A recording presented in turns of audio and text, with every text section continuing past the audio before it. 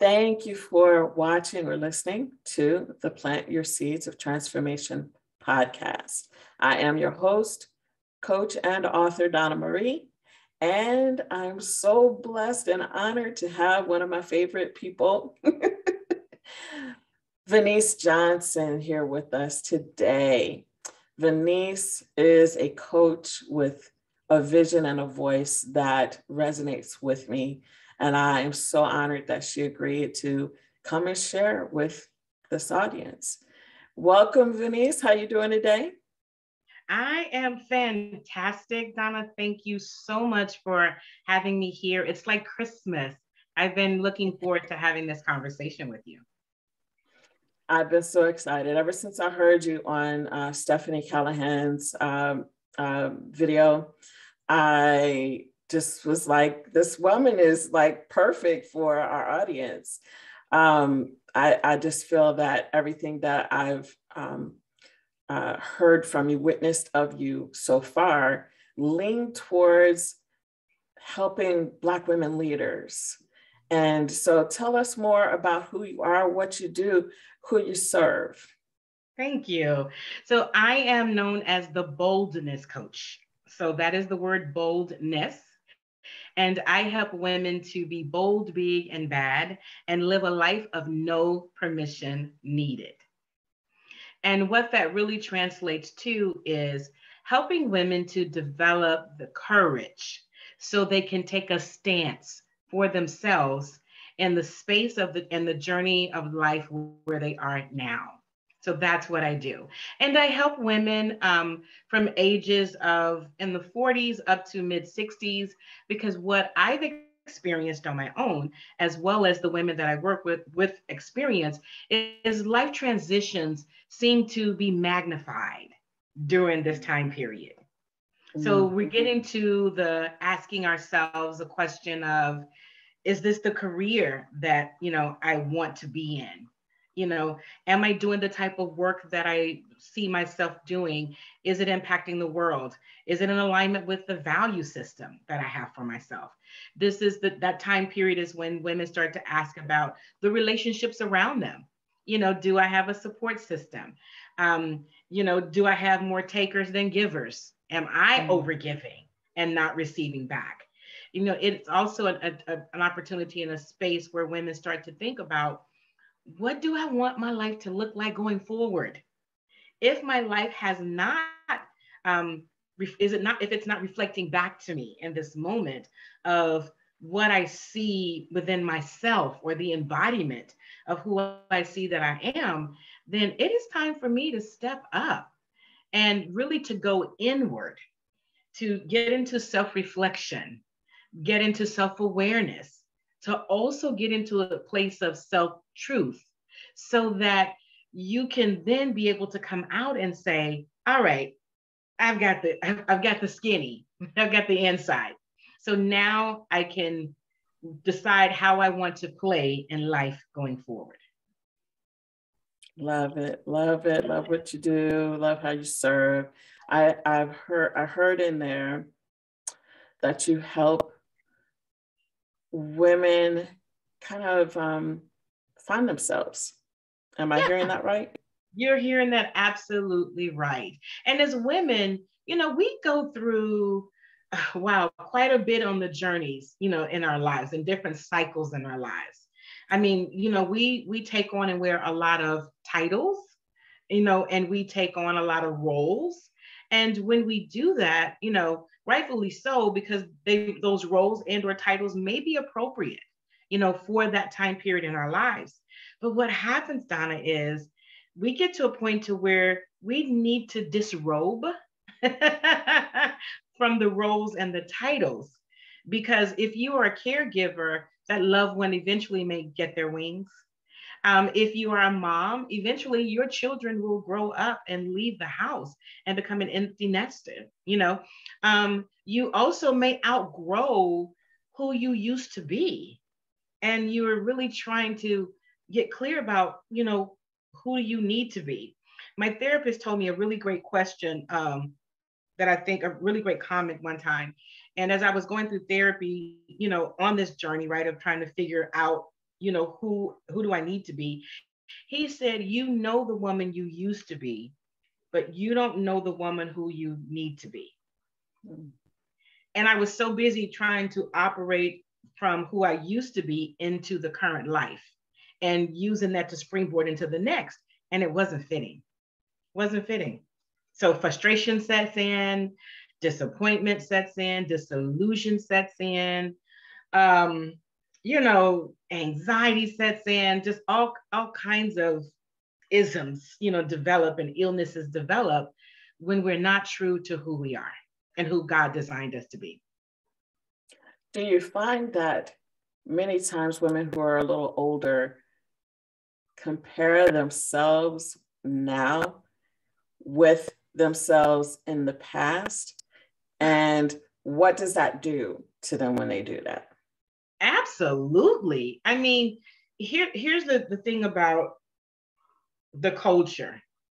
The culture we live in as a whole, you know, and especially the influences in our culture, you know, inadvertently put us into mental spaces, you know, of our younger selves.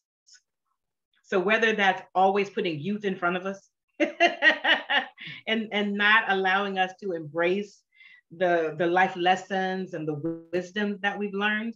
So, you know, you may want to do that, but the culture, and if you if you really don't draw the line and recognize there's a line between you and them, then what happens is you will try to replicate in your present life who you used to be. But here's the reality in my present life, I was younger. You know, I had more energy. I didn't have some of the the physiological changes that are happening in my body when you get in the 50 plus club. Um, I also didn't have the depth of knowledge of, about from experiences. So, you know, I thank God that today that I was able to have my life spared to be here because sometimes I just make choices on the whim. And then also, what I see is a lot of women try to compare their ability and their agility to who they used to be. I have a friend that used to say to me, you know, when I was in my 30s, I used to be on top of things. And, you know, I remember my son saying to me, Mom, you used to always be on top when, you know, when the latest and newest technology came out, Mom. And I'm surprised that you, you know, that you're lagging and asking me these questions. And then we start to repeat that story in our head. And then we make that story a reality for us because we start to approach whatever the task is at hand and we bring that story to the task. And when we bring that story to the task, then we're trying to use, you know, the same ability, you know, and agility to respond to a past story and a, and a past, um, well, how do I want to say it? You know, just physicalities of your past into your present. And it doesn't work. And when we do that, then we start feeling like what's wrong with me i'm not you know i'm getting old you know um, or this or we start to reject the changes and the advances you know that are happening. You know this technology and this is too much and you don't need to do all of this and that. You why we got to have this and why we got to have that?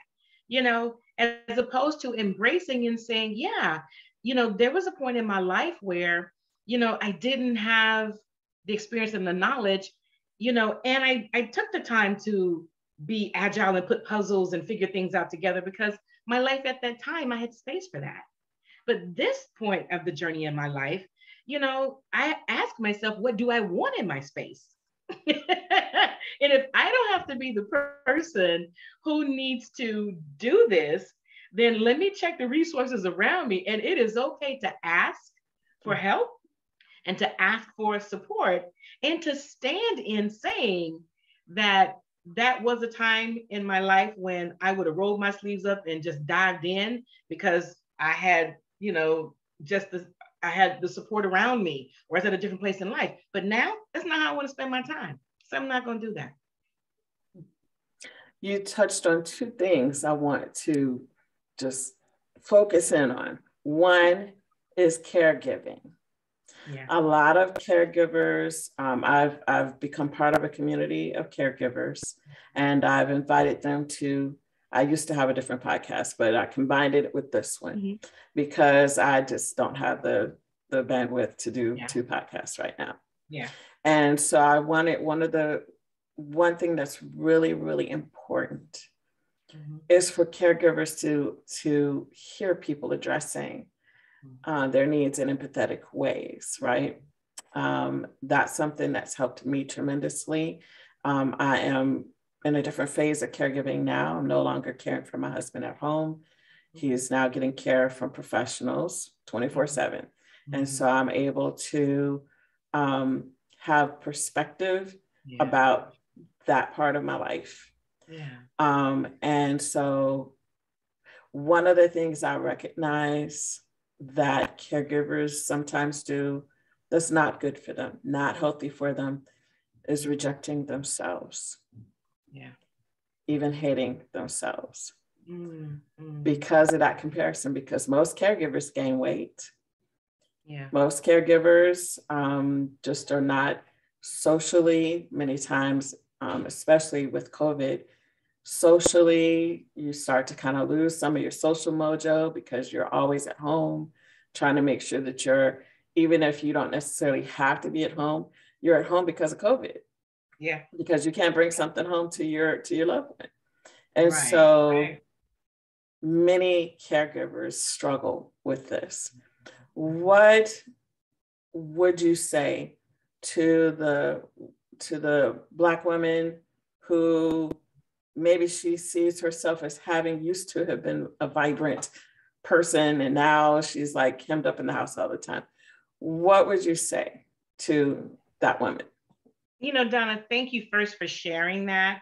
Um, because as you were talking, I was reflecting back on just my childhood, you know, and growing up. And the fact of the matter is, we have always been caregivers.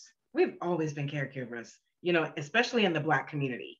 We've been caregivers to helping to birth babies, you know, new moms, you know, nieces, nephews, cousins, little cousins.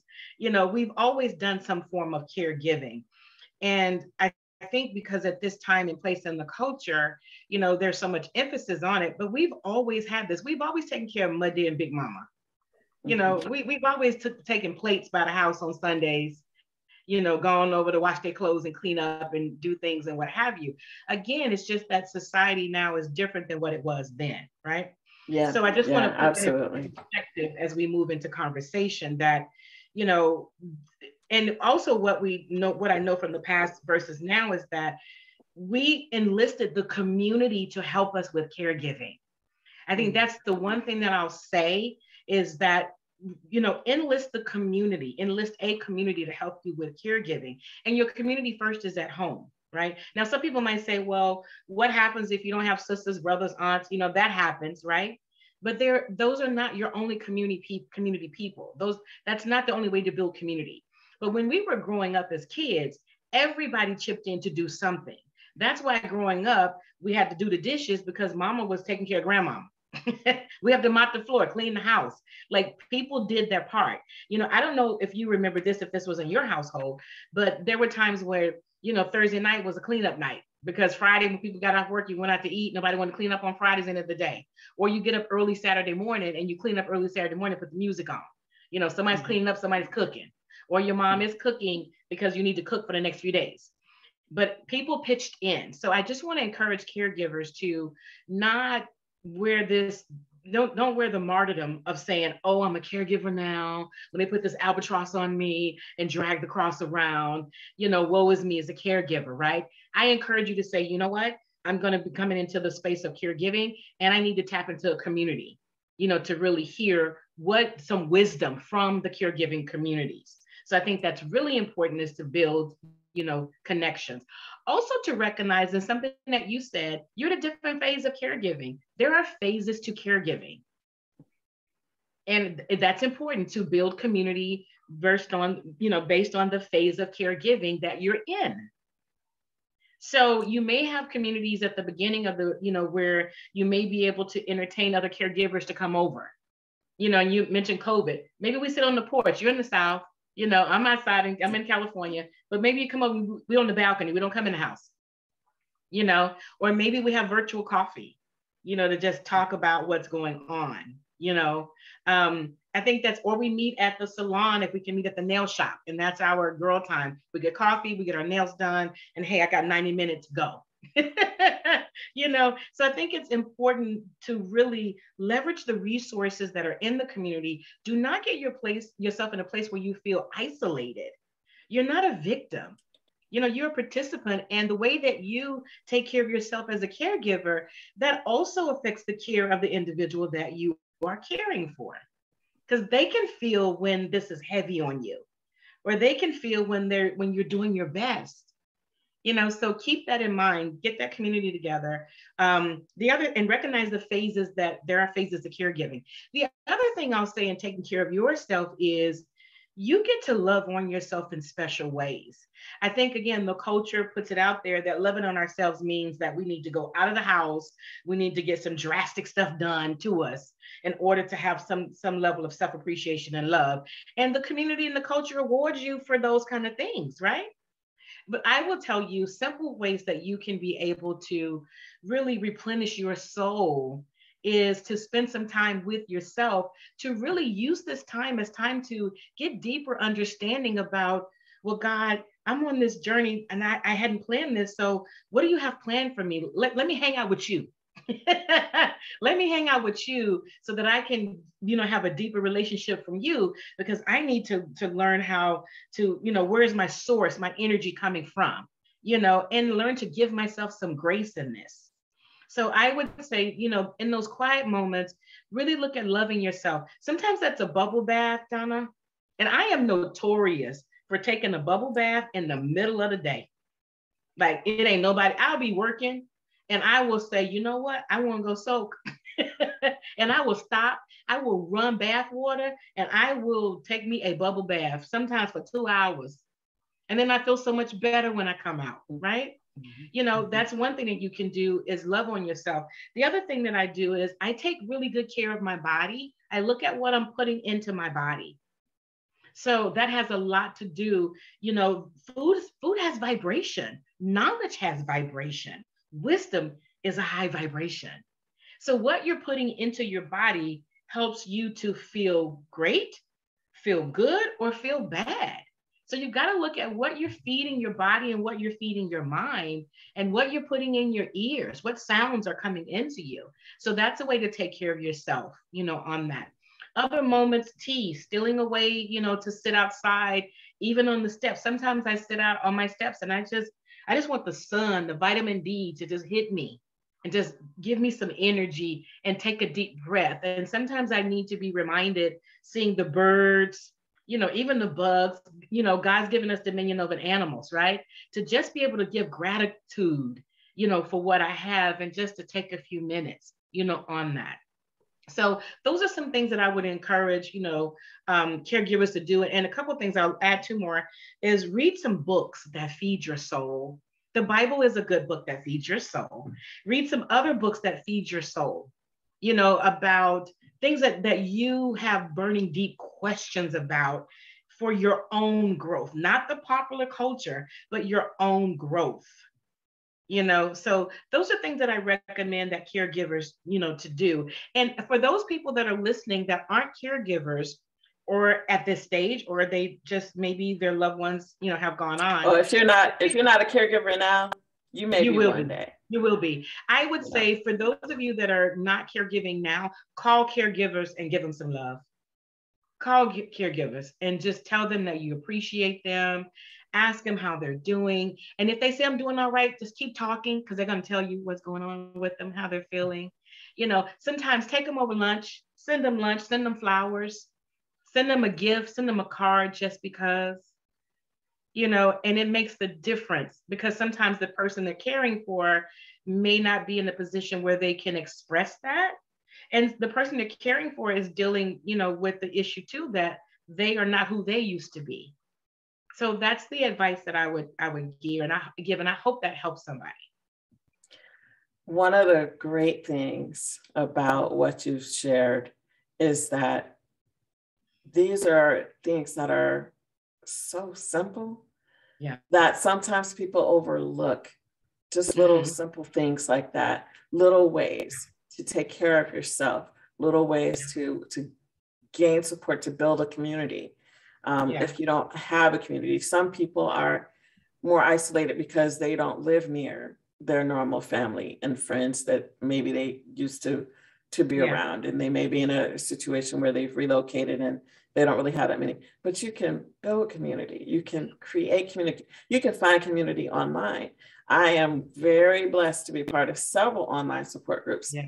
now in my opinion that does not support in-person support right it doesn't replace in-person right. support however mm-hmm. sometimes that's all you that's all you can get access to so yes. it's better that than nothing mm-hmm. um, mm-hmm. there are other online resources that you can use for your mental health support when you're a caregiver you need that mental health support um, many black women that are married they know their husbands are not going to go to therapy they're just not going to do it but you can you don't yeah. have to wait for them you don't have to wait for them. And you know what? The, the, the and you should. and you should. You absolutely should. So a lot of what happens is a lot of women will say, "Well, my husband or my partner won't go." So you know, and I'm just so frustrated. I'm trying to get them to go.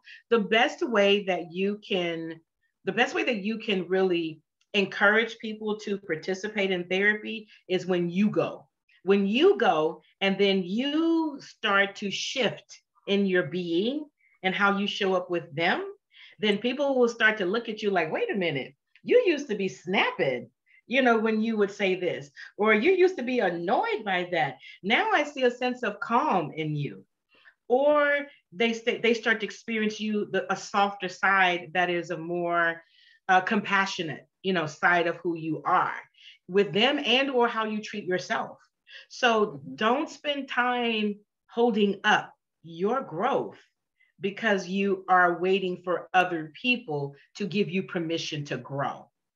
Give yourself permission to grow and give them permission, you know, so that they can find a way to grow themselves. And they may eventually come around or not, but definitely they are not going to be the way that they used to be with you because you no longer will be receiving that type of action and energy from them. Mm-hmm. And our children, watch us. Yes. Even if your children are adults, they still watch us. Yeah. And they can learn so much just from us taking care of ourselves. Yes. Yeah. So and as we, they watch us. Them. Mm-hmm. Go ahead. Yeah, yeah. They they teach the, we teach them how to be adults by what we do. We teach them adult behaviors from our adult behavior a lot of children will never admit that they're learning anything from you. Especially if they're teenagers, preteens, or whatever. Mama don't know nothing, okay? they know everything. Mama knows nothing. But they watch you and they learn from you. No matter if you think that they are or not, they they are. They are, they watch. And um, I'm really grateful um, that I've been surrounded by a family of women who have got to see them grow. I have my mother has four sisters, and um, it's it's amazing to to watch their lives, you know. And I've I've been so blessed to learn from each of them in different ways from watching their lives, and um, it's important. It's it is it is so important that self care is not important just for your self care but it's important so your children can see what it looks like when people change, when people get healthier. Absolutely. So, Vaneese, I am just so enamored by all of your bling and your boldness and your bold um, motto. Can you tell us what, what your t shirt says? Yeah. So my T-shirt. you know what's interesting is, as I was preparing for, um, you know, our conversation today, it came up in my soul, and it was like, you know, today I should put your T-shirt on that says bold. And I have several T-shirts, but this one is bold, and it says "Build on the Lord daily." is what this one says. And it has two crosses there. Know depending on the lighting, if you can see it. Um, and it's in purple. So the bling is in purple, you know. Um, and it really just gives me the energy along with the color, the gold color. it's just the energy that I wanted to bring to our conversation today. And so it, that's where this is coming from. It takes courage to change. Mm. And that um, building on the Lord daily, that takes courage to not just keep doing the same old, same old, whining, complaining, moaning, groaning, denigrating yourself, um, comparing yourself to who you used to be or what you used to look like. Mm-hmm. Um, it takes courage to come out of that. Yes. How can a woman leader who is looking for that to develop that boldness in her life. What are some steps she can take to develop that boldness? You know, um, I will add on to what you said. It absolutely takes courage to change because the subconscious is, wants us to be comfortable, you know, because it's what we know and it's what we're familiar to. And when we revert to it, we we know where we're going to get. But when we are stepping into the unknown, we don't know what's possible or, or, what's in the unknown. That's why being bold and building on the Lord daily is important because you you definitely need the base, a source, you know, that you can be able to pull from to step into the unknown. Because you know we hear it all the time that you know there could be something waiting for you on the other side. But what we don't hear is but to get to the other side, you got to go through some things that might be uncomfortable. And some of those things is what we call change. so that's it. So that's important to just kind of gird yourself up, right? You know, with support so that you can just kind of step, step, step, you know, into that. And one of the things that I see, because sometimes even though we're talking um, religious religion and we're talking spirituality here, is that some women, black, black women leaders, don't feel comfortable bringing that into their work environment. And so what I want to do is to give you a couple of cultural terms, you know, that can, you know, give you pause um, to really, um, really look at what could be showing up for you so that you can start to pivot when this shows up. And a couple of things that are important. We've heard a lot about self-sabotaging. You know, self-sabotaging is when you uh, when a person feels like they're they're an imposter, you know, self-sabotage. So they will do something to sabotage their success. If they're doing great in it, they'll be like, oh, if they find out, you know, about me, let me just, you know, maybe not be so perfect in it, or they probably won't like it, or they'll start doing actions, you know, that will really negate the success that they've had because they get into what I call sabotage cycles. And sabotage cycles is when you something great and amazing happens for you and instead of embracing that and embodying the accomplishment, the achievement, you look for a way to sabotage the success that has just happened for you right? And I'll give you an example how this could possibly show up in the workplace. So you get this big promotion, um, or unless not even promotion, you get this project and you're working on this project and you're really putting all your energy into this project and you you you know you you're like oh i feel so great about it you spend a lot of time overthinking overworking it but it comes out right and so then you go and do the presentation on it and then someone says to you this is great Vaneese you know, we really, you know, enjoyed this. So um, we're looking forward to more, you know, more opportunities for you to present to us.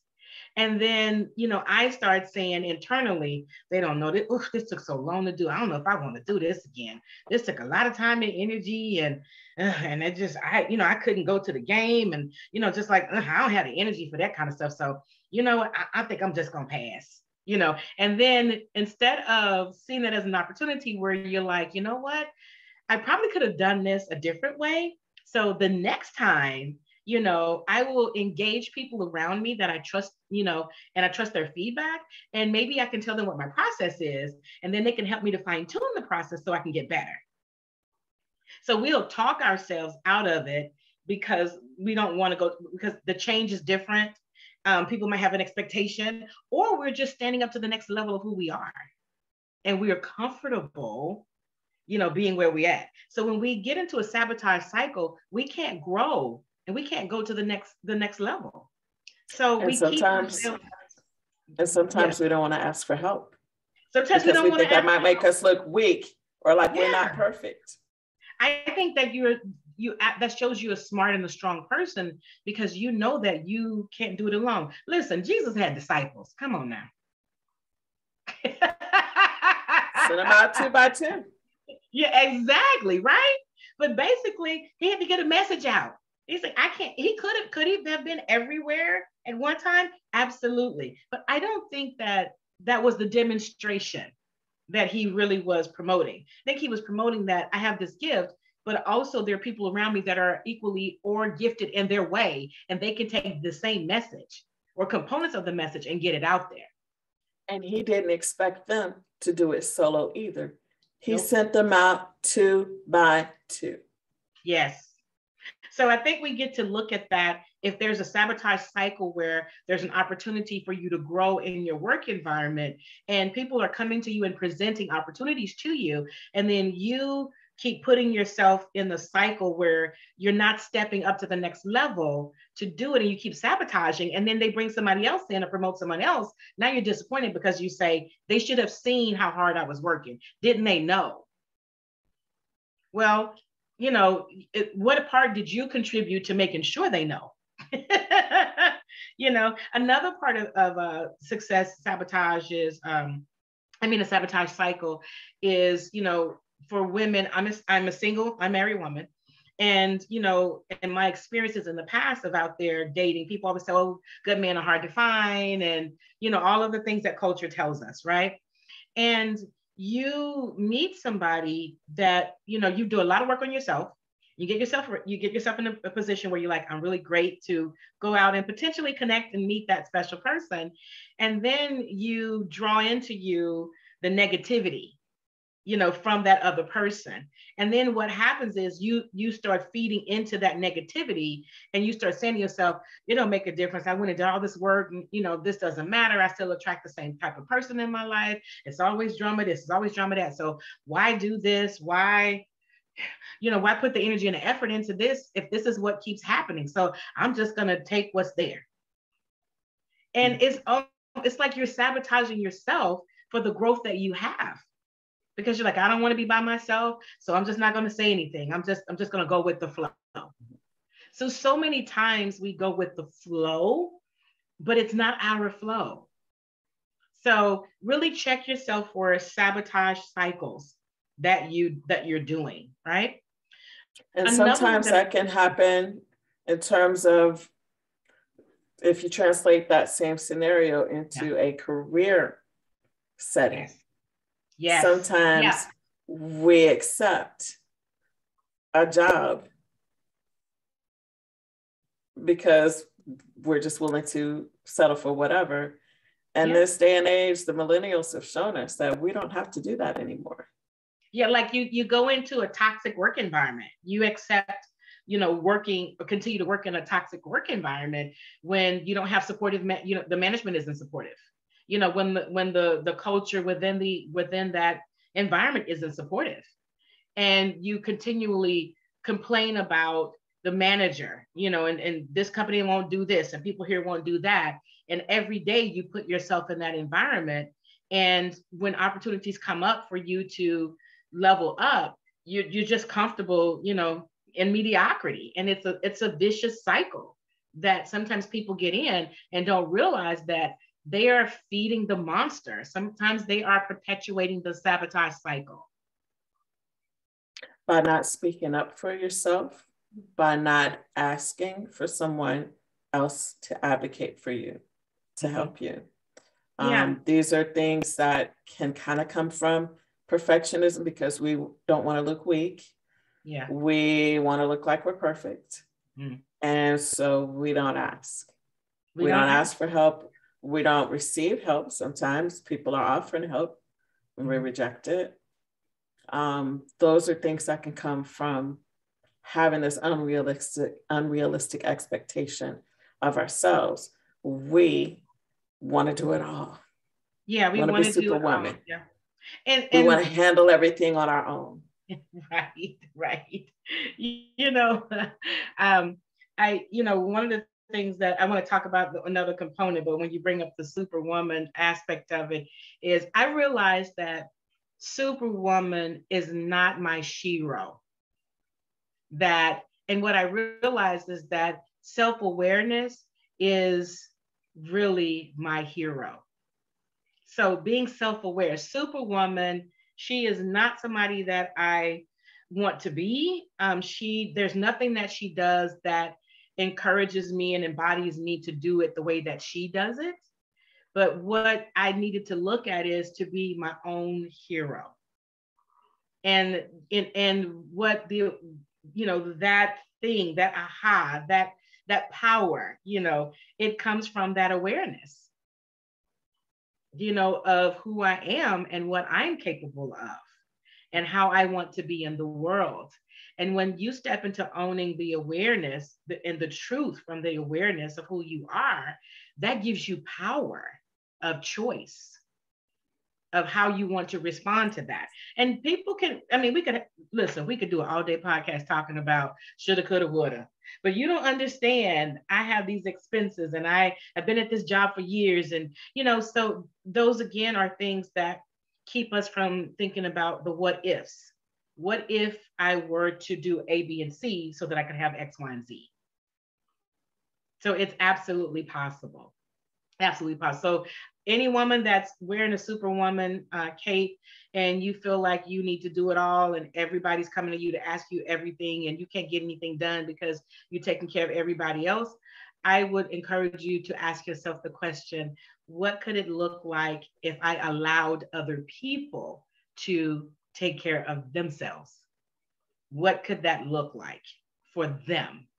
And ultimately what could it look like for me to be able to see them own who they are and step into their fullness, whether that's in work or whether that's in personal family life. Because we do them a mm. disservice. We do them a disservice when we don't do that. We, we keep, the nipple, keep the going. There's a lot to unpack there. I am just wow, there's a lot to unpack there. And I know we don't have time. And like you said, we could talk about this for the rest of the day. We could talk about this um, for the rest of the day. so one of the things I want to make sure that we get to is give you the chance to share what you're doing. Do you have any events or any mm-hmm. Uh, mm-hmm. launches coming up? What, what's going on in your world and what do you want our audience to know about? Yeah, I'm, I'm just Oh my goodness. You know, when we get together as women and talk, boy, we, we really change the world when we get together and we have conversations like this. So I hope it inspires other women to go a little bit deeper. So, what's going on in my world is I am going through a rebrand of my business. So, I will be launching a new website, new content, you know, towards the end of this month. And I am on the speaking circuit. Your podcast, Donna, being one of them. Um, next week, I will be speaking um, for UC Berkeley's um, staff conference day. So I will be speaking to, uh, I think it's up to 1,200 attendees from all of the UC systems in the state of California. So I'm excited to talk about how to um, how to um, have a bold bold career is what I'm talking about, you know, for them. And then I have another webinar that's coming up where I'm participating. Actually, it's a summit, a four day summit. It's called Breakthrough Media. So it is helping small business owners to position themselves so that they can get the media attention or leverage media, you know, to be able to grow their business. And I'm also going to be speaking um, later this month, and I think it'll come out next month um, on UC Berkeley's podcast you know, about um, upskilling is what I'll be talking about there. And then in upskilling. upskilling, yes. Upskilling, okay. We're all in the position of upskilling. It's really taking the skill that you have and going deeper and expanding that skill set because of you know, artificial intelligence, you know, where we are and our data analytics, all of these things that are happening with the technology, you know, that's going around us, we, we get to upskill so that we can be able to, com- you know, continue to command a higher value in the marketplace um, to be competitive in the marketplace. You know, we've always done that. We just didn't have that term to call it that. And I'll just cap this off by in August, I will also be um, kickstarting my international speaking tour, you know, in August, starting off in London. And it's going to take me to Paris and then to Dubai. Wonderful. So that's what's new for me. Wow. Speaking of Dubai, there's a new reality show based out of Dubai. Oh, Lord. Pretty fantastic. Pretty fantastic. It's beautiful there. I love the all of the scenery that they show there and mm-hmm. everything. Mm-hmm. That's the one reason I'm a, I'm a big reality TV show fan because I've learned so much about other places from mm-hmm. watching those shows. Yeah. And um, yeah, very, very interesting. I hope that you have a blast on your I travels. Will. I, I've been to Dubai twice. So I was there earlier this year. Oh, okay. um, I was in Egypt first and then Dubai. So th- that was my second time in both those countries. So it's definitely getting out to see the world. Uh, um, it, it puts things in perspective. It puts things in perspective. And I encourage Absolutely. anyone who can do that. Um, even if you just get out to see the communities around you, you know, within your state, um, going from different cities, you know, safely, of course. Um, it, it just puts things in perspective when we get out outside of our bubble. What would you say to a Black women leader who wants to travel but doesn't feel like she can? You know, again, here we go with community. There's so many communities, you know, travel communities that are out there um, that you can join and be a voyeur you know, in their travels. A lot of those communities are safe environments for you to ask questions. I, have seen different communities for single Black women travelers, you know, and they talk about how to be safe, you know, in traveling. I do a lot of traveling by myself. I do go in groups, but I do a lot. And most times the groups are always on the East Coast, but I'm the one coming from the West. So sometimes, you know, we don't always hook up until we get to that place. And even just in different times of arrival, you know, be smart. We're, you're smart. The same way you're smart at home, be smart when you're in other countries. So it's definitely doable. Um, you may start with smaller places that are more comfortable for you, like Mexico may be more comfortable versus going immediately over to um, Africa, you know, or somewhere in Europe. Um, so I just would encourage you to join communities of other like-minded Black women and put the questions out there.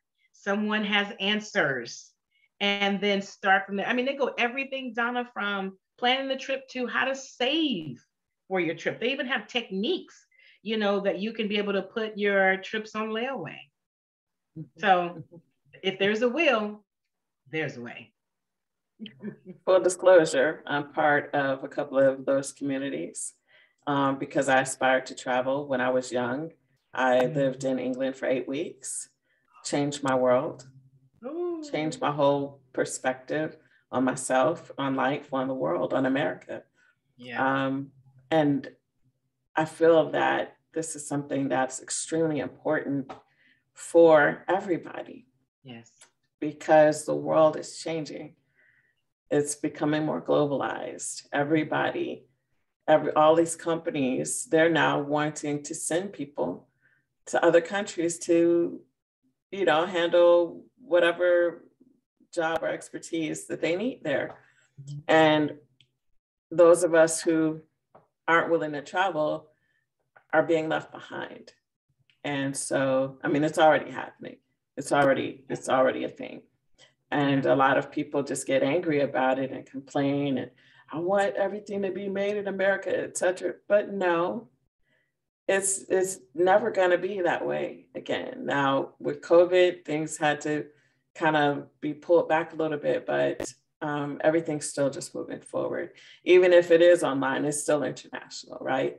Yeah, it's still there, there are people working.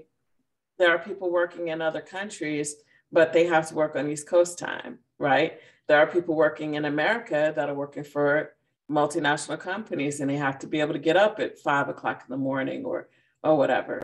So that takes boldness, that takes courage, that takes a lot. That can't happen when you're just stuck in this mindset of, I gotta be perfect all the time. Yeah. You'll never be able to grow. That's not a growth mindset. Being so totally focused on just doing everything perfect and doing everything the same way so that it can appear to be perfect. Because that's how a lot of people get stuck is they're so afraid to make a mistake that they want everything to stay the same so that they can kind of, you know, like be the be the big fish in the little pond or whatever. But, you know, honest truth, as a Christian, um, from a Christian perspective, that's not that God doesn't call us to just play small like that yeah. all the time. You you may think it's playing big, being the big fish in the little pond, but it's really playing small. Yeah. And I, and, I will add to that that even in the Bible, when we look at the stories of, of different um, uh, characters in the Bible, we see them struggling also with everyday life. I mean, have, being blessed by God and still lying to people and you know and, and, not keeping you know making a promise to god that you would do something and then hoarding you know or, or you know so we're all human you know we're all human. And i love that you know that you said that you know you really do just have to continue to let that go work on letting that go and realize that nobody's perfect you know in that. And it's it's a lot of energy to main to try and maintain being perfect. Because you can never get it right. You can never get it perfect. So there's a lot of energy that you take away from other things in your life you know trying to focus on perfectionism. So it's just not a good look and it, and it will physically emotionally mentally spiritually it will just make you sick. And and you know it's not attainable to be perfect is not even attainable. And so then you have these people talking about oh well just fake it till you make it. And that's a whole other thing you know people women in my opinion most women can't mm-hmm. sustain that that fakeness for long. It's not sustainable. And it's and it's unhealthy like you were saying it's unhealthy. So in parting what would you say to a black woman leader who she's determined to be bold mm-hmm. but she's coming up against obstacles what's the one thing that you would say to her to help her break out and be that bold courageous person that she wants to be? Hmm. The one thing that I would tell a Black woman leader, you know, in terms of breaking, stepping into her boldness, is to first do really a self audit, you know, for every area of your life, right? And in that audit, tell yourself the truth. Tell yourself the truth. And then look for the evidence in your life to really confirm the truth that you're telling yourself you know? And what i mean by that is if you do an audit in your life and you're like you know i'm not happy in my career you know I, I just see just i'm exhausted when i wake up when i get there i feel drained before i even start my day. Or you maybe having experiences of i don't feel appreciated or valued you know for the the talent that i have when you're auditing that and telling yourself the truth, look at the demonstration of what that truth is for you. So if you if you say you're feeling that and then you go into you know a meeting with someone and if you're if the experience is pushback if the experience is people are saying they don't value this isn't good enough we wanted x y and z can you do a b and c then tell the truth to yourself that that's what they want and it has nothing to do with you tell yourself the truth about that that experience because a lot of times we will embody somebody else's truth as our own truth so you need to be able to distinguish between what is true for somebody else and what's true for you and another part of telling yourself the truth is when it's time to move on from that career you know tell yourself the truth this has been a great ride, but things have changed so much. It's time for me to move on from this. And then ask yourself the open ended question what could it look like if I moved on to do A, B, and C? What could it look like if I moved on and took a break before? And if you in the answers you give yourself, if an answer could be, well, you know, it would look like me taking a break. I just need to, oh, I need to have a month off. Okay. So if that is the truth that you tell yourself of what it, what, you know, the possibility could be, right? A new truth you want to create, then so what would I need to do to start positioning myself to make this a reality for me? Oh, I need to look at my finances. You know, I need to come up with some type of financial plan. Oh, I need to, you know, invest and get my resume updated, you know, or work with a career coach, you know, to help me to see what's possible for me next in the career in a career. So it starts opening up th- those questions, the truth, the assessment, telling yourself the truth, and then looking for evidence, you know, for supporting the truth that you found out that you're owning about yourself, and then asking the open-ended question for next steps and f- keep following the breadcrumbs, keep following them. But before you step into your boldness, you have you get to audit and you get to tell the truth. Otherwise, and it needs to be your truth, not what these people are doing. It needs to be the truth for you then that will set you, that will start to set you on a journey for stepping into your evolving into your boldness. Absolutely. Great advice. One of the one of the great things that I love about um, being part of communities mm-hmm. is that they can being a part of a community of like-minded people can help you gain that kind of perspective. And so coming out of isolation, coming out of trying to do everything on your own all the time. Mm. Um, that's something that can really help you in that process. And I want to speak to the audience now. Make sure that you remember to listen to the end because you're going to hear about what we're doing to offer mentorship through the community that I'm a part of. And um, this is something that mentorship has been so critical in my life mm-hmm. at every stage of my life, not just when I was a, a young person, but even as an adult. Um, having somebody that you can um, not just lean on for asking them to do stuff for you, but just to listen, just to listen, to get book recommendations, to whatever, um, whatever you need so that you can keep learning. And that's what you got to do. You got to keep learning. And Miss Vaneese Johnson has just laid a lot of wisdom and, uh, and knowledge out there for you all to learn from. And I hope that you all will connect with her. Vaneese, tell us your website address.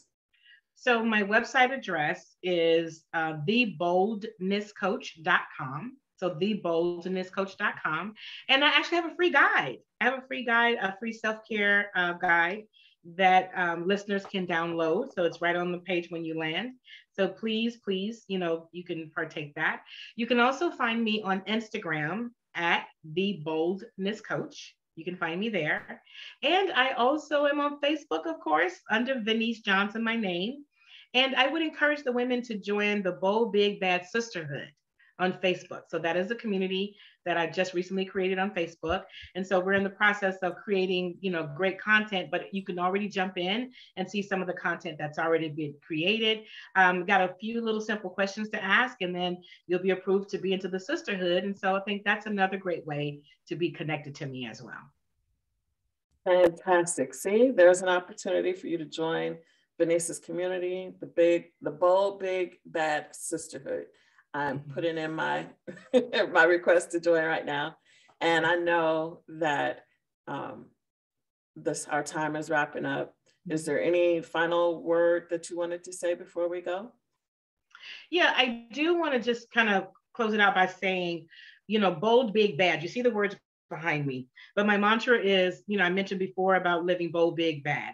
Bold is about being your authentic self. Every day is an opportunity for you to be authentically you. Whatever that authenticity about you is, bring that into everything that you do in every way of your life. It just will be so uh, such a relief to just be yourself. Big is about building in your genius. We were all given at least one talent, at least one. And you can look at the parable of the talents, you know, in the Bible. Um, but that one talent opens up so many opportunities for us in our lives. So identify what your talent is and build in that genius. And the way you build is ask yourself, what else can I do with it? What else can I do with it? What else can I do with it? It will create so many possibilities for you, you know, building off the authenticity into your gift. And then BAD stands for blessed and deserving. Is that you we were born into a life already blessed. And you know, owning who you are and building in that will put you in the space to recognize and receive what the deserving of your life that's already waiting to just be a part of who you are. So live life bold, big, and bad with no permission needed. Awesome, awesome. It's been such an honor. Thank you so much. I praise God that He allowed us to connect in this way and allowed me to um, glean off the wisdom that that he's putting out in the world through you too. Thank you for allowing him to use you for this audience and for all the audiences that he's introducing you to globally, all over the world. And I'm so excited for you. And I look forward to um, following your journey. And are you on YouTube too? Yeah, so we're we're revising the YouTube channel. We, we it is on there, but it's not published. Okay. Yeah. So there's a YouTube channel. Yes. Well, well, I will be looking out for your updates for your new website, new new channel, and all of that. And again, look for Vaneese's website over at say it one more time. Theboldnesscoach.com. Theboldnesscoach.com. And Vaneese is spelled, if any of you can't, I don't know if we have any listeners that can't see the screen. Is spelled V like victory, A N E E S E, Johnson, Vaneese Johnson. It's a pleasure and an honor. Thank you so much. And I hope that we get to see each other in person one day. I would absolutely love to meet you. I'm a hugger. I would yes, love to meet too. you in person one day. Me too. All right. Take care now. Bye bye.